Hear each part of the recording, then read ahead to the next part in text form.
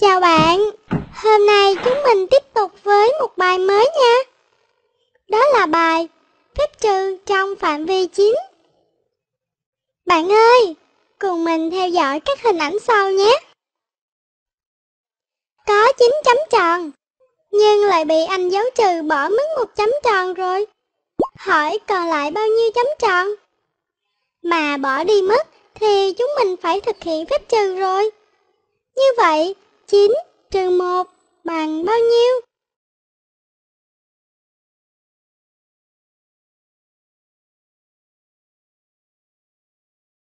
Đúng rồi, bạn giỏi lắm. Nhưng khi mình có 9 chấm tròn, mà lại bỏ bớt đi 8 chấm tròn, như vậy còn lại bao nhiêu chấm tròn? Tương tự, bạn hãy giúp mình thực hiện phép tính này nhé.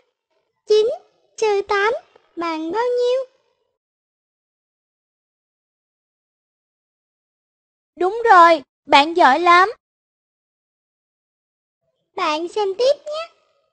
Có 9 cây kẹo, nhưng lại bị anh dấu trừ bỏ đi hai cây kẹo rồi. Hỏi còn lại bao nhiêu cây kẹo?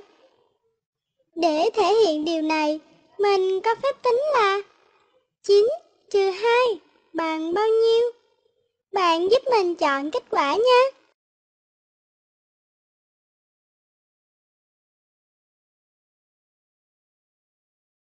Đúng rồi, bạn giỏi lắm.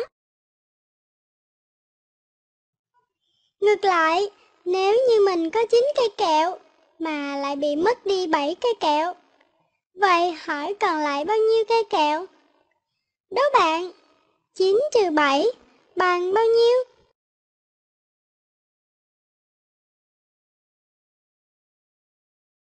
Đúng rồi, bạn giỏi lắm. Tiếp tục nha. Khi mình có 9 cây kẹo, nhưng lại mất đi 3 cây kẹo rồi. Hỏi còn lại bao nhiêu cây kẹo đây? Mình có phép tính như thế này. 9 trừ 3 bằng bao nhiêu? Bạn tính giúp mình nha.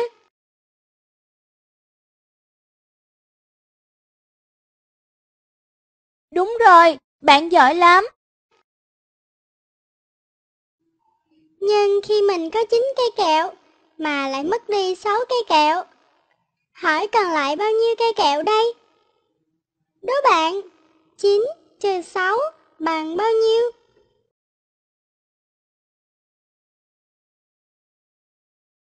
Đúng rồi, bạn giỏi lắm. Xem tiếp nha. Có 9 cây kẹo, nhưng lần này thì mất đi 4 cây kẹo rồi. Vậy còn lại bao nhiêu cây kẹo đây?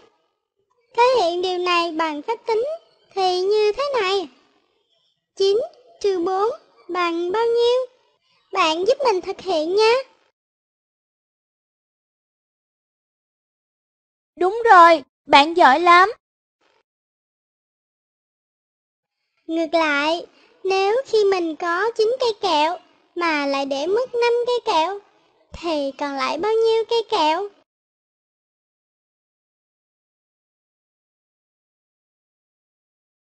Đúng rồi, bạn giỏi lắm. Giờ yeah, thì mình có thể thành lập được bảng trừ trong phạm vi chính rồi đó. Bạn giúp mình hoàn thành các phép tính sau nha.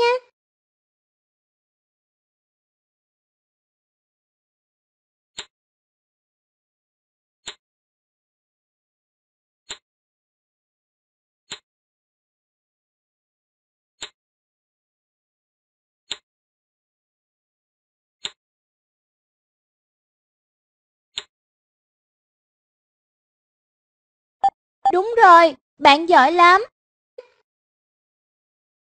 Đúng rồi, bạn giỏi lắm. Chúng ta xem thêm một lần nữa cho thật hiểu bài nha. Cảm ơn đã xem, mời bạn đăng ký để theo dõi các video tiếp